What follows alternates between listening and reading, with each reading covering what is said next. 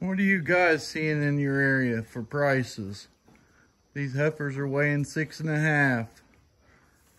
What uh, what is everyone seeing in your area for 650 pound heifers, for 500 to 550 pound heifers, 450 pound heifers? We probably are going to stick with the heifer deal, just for the simple fact that uh, this price the price spread is so far apart between the heifers and the steers. Uh, want to keep all the numbers I can with the available cash I've got. Um, I don't want to take any loans. I just want to do what cash is available. And uh, so when I sell these girls, they're gonna they're gonna make pretty good money. I I'll I'll put it down on paper uh, here pretty soon. But these were, calves were bought in uh, right around the holidays from uh, December, I think 18th through the first of the year. Uh, somewhere in that range. They weighed right around 320. I think it was 323 to be exact, but I'm not 100% sure.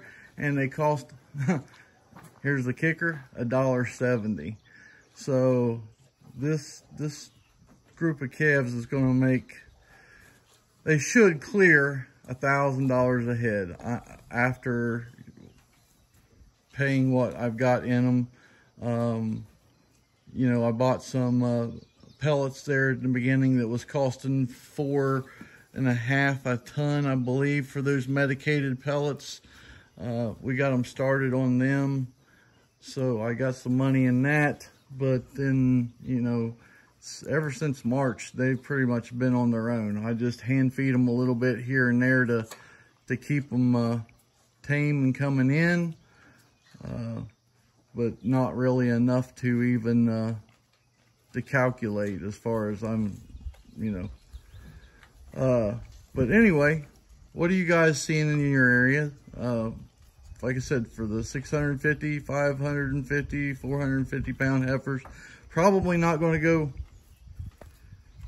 any lower than that. I, am buying some 300 pound heifers, but that's going to be in a different little deal.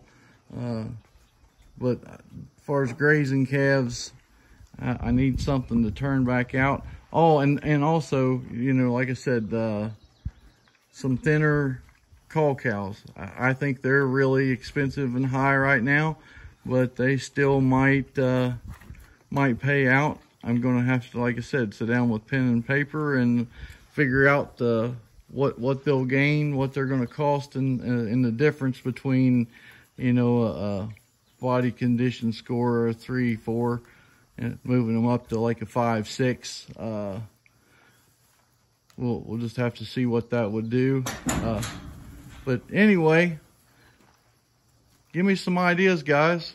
Uh, tell me what you're thinking.